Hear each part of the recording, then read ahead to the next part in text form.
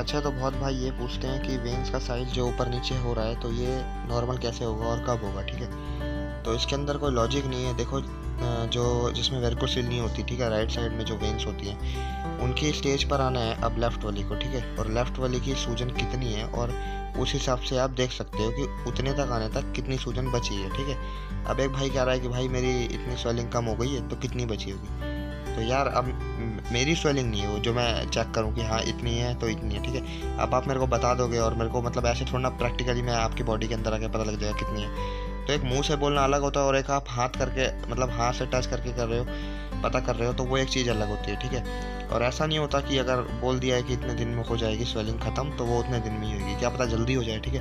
क्या पता थोड़ा लेट हो जाए तो ऐसा होता है। वेन्स आपको पता है ऊपर नीचे होती रहती है, कभी स्वेलिंग बढ़ती है, कभी घटती है, ठीक है? और जो मेन चीज़ है वो ये है कि कई बार जब हम वॉक ज़्यादा कर लेते हैं, तब या मतलब एक्स्ट्रा कर लेते हैं, या कई बार हम टेढ़े मेढ़े जैसे लेटते हैं ना, ऐसा हो जाता है सीन तो ब्लड जो सर्कुलेशन होता है वो अपोजिट डायरेक्शन में चलने लग जाता है, ठीक है? जैसे मतलब वॉक कर रहे हैं अगर बंदा, ठीक है? तो ऊपर को तरफ़ जा रहा है, ठीक है? वो मेरे साथ एक बार हुआ था, ठीक है? शायद तभी उस वजह से वेंस बहुत सूझ गई थी, ठीक है? तो मैंने वॉक मतलब काफ़ी जब बढ़ा रखी थी तो एक बार ऐसा हुआ था कि वॉक मैंने करी तो दो तीन दिन तक तो वेंस मतलब चेक करता था घर आकर ठीक होती थी थोड़ा।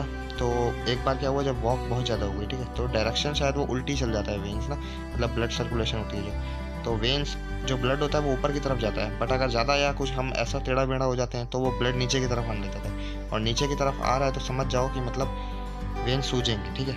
तो वो ब्लड सर्कुलेशन आगे पीछे होने लग जाता है, क्योंकि वॉल्व ख़राब होते हैं उसके, है ना? तो यही मैं बताना चाह रहा था कि वॉक उतनी करो जितना बॉडी माने, ठीक है? और रेस्ट लो ज़्यादा हमेशा।